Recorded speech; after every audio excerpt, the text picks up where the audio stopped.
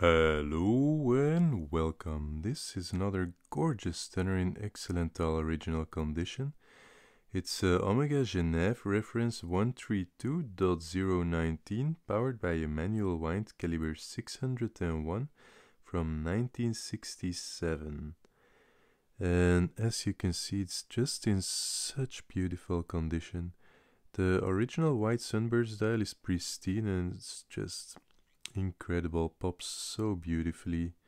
The gold plated case is in excellent condition with very light uh, wear on some edges, um, but overall still super super sharp. On the sides is uh, very clean. It's just on the on the edge here uh, at 12.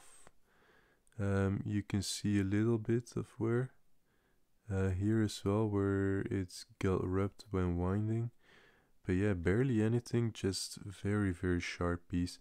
Uh, crown is Omega signed, it's a replacement crown though.